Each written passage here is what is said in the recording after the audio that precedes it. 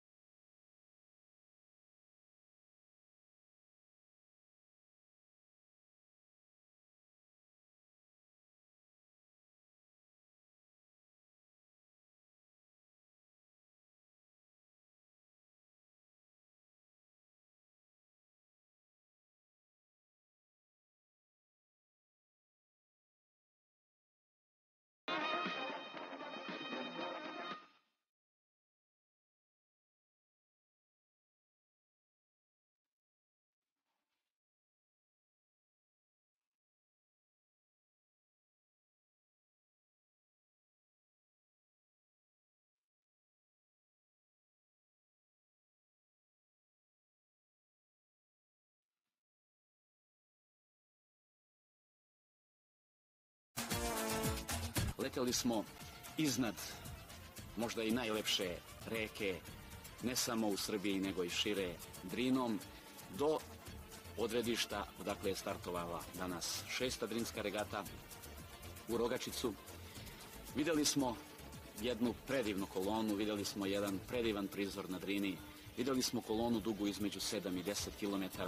Po informacijama koje smo dobili od organizatora, na Drini se nalazi oko 1500 plovila sa oko desetak hiljada učesnika koji su pristigli iz svih krajeva naše zemlje pa iz inostranstva. Mislim da ste imali priliku da snimite izuzetne kadrove. Ja u Drinskoj regati mogu samo da kažem da je ona već tradicionalna, da se šesti put organizuje, da je to i najznačajnija kulturna manifestacija, sportsko-rekreativna, zabavna manifestacija na Drini. Posebno kao organizacioni odbor i uopšte kao građani Ljubovije, mi se ponosimo sa Drinskom regatom, ponosimo se sa time što svake druge subote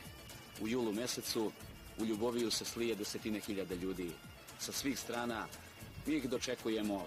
kao domaćini raširenih ruku, jer to je praznik. Praznik za sve ljubovijane, praznik za sve ljubitelje prirode, praznik za ljude koji vole vodu. Danas, odnosno večeras u večernjim časovima, prava fešta će biti kod Ljubovijskog motela, gde je inače i cilj regate nakon 40 km plovidbe od Rogačice do Ljubovije, sačekat ćemo regataše, sačekat će ih nekoliko hiljada Ljubovijana i naravno gostiju koji pristignu u Ljuboviju imaće priliku takođe da vide jedan veličanstven prizor, a onda ćemo druženje nastaviti do kasnih jutarnjih sati. Mislim da će ljudi koji prvi put dođu na Drinu sigurno dolaziti i narednih godina, jer Drina je lepotica. Drina je biser prirode, Drina je reka na koju treba doći, Drina je reka na kojoj treba uživati, a o regati mislim da će najbolju ocenu dati vaši gledalci nakon onog što budu videli posle kadrova koje ste danas imali priliku da snimite do duše iz pičije perspektive, ali svakako. Danas smo se takođe uverili da ovaj kraj obiluje mnoštvom drugih turističkih atrakcija koje su zaista biseri ne samo ovog kraja. Uspeli smo da obletimo teritoriju opštine Ljubovija, Ušli smo iz e, zone pravca Valjeva šireg kruga aerodroma Divci, pored e, Medvednika i ulaskom preko kanjona Ljuboviđe, koji je inače i prirodna granica između opština Valjevo i Ljubovija. Proleteli smo pored Bobije, najviše tačke na području opštine Ljubovija, na 1272 metra nadmorske visine, inače izuzetnoj planini sa koje dominira vidik e, kada su lepe vremenske prilike prema Beogradu, prema Tariji i dalje i na levu i na desnu stranu na suprotnu prema bosanskim planinama i tako dalje. Nakon toga spustili smo se kanjonom Tribuće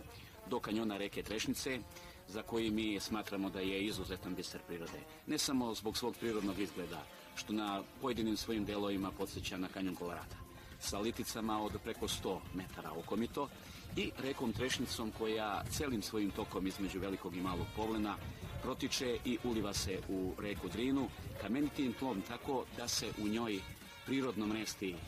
mladica koja izlazi iz Drine, a na liticama kanjona je stanište Beloglavog supa, inače drugo stanište po veličini u Srbiji, posle Uvca kod Nove Varoši i treće stanište u Evropi. Naravno, beloglavog supa vrste koja izumire i koja je za orintologe i uopšte ljubitelje prirode izuzetna atrakcija. Kanjon reke Trešnice je karakterističan i po tome što ga posećuju često uh, speolozi, a dolaze inače i ljubitelji prirode koji ovaj, posmatraju let ptica i tako. Interesantan je ovog puta na ovom letu bio i zbog toga što će danas na šestoj drinskoj regati kao i prethodnih godina odmorište upravo biti na ušću reke Trešnice u Drinu, gde će deseta hiljada regataša pristati danas negde između 13 i 15 časova da se osveže, okrepe, probaju vojnički pasulj, a nakon toga nastave plovidbu prema Ljubovi. Takođe,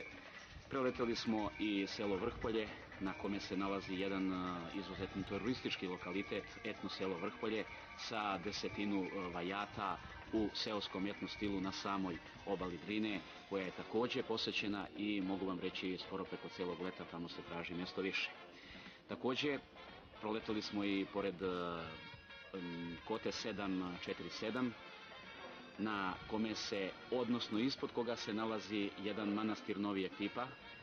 manastir Svete Trojice, inače zadužbina Karađorđa Ristanovića, meštanina iz Bijeli voda, a nakon toga produžili prema možda i najznačajnijoj ljuboviskoj destinaciji, manastiru Sokograd, odnosno manastiru Svetog Nikolaja, zadužbini vladike Lavrentija Šabačkog, ispod starog Sokograda, a o Sokogradu naravno moglo bi se pričati jako mnogo i jako široko,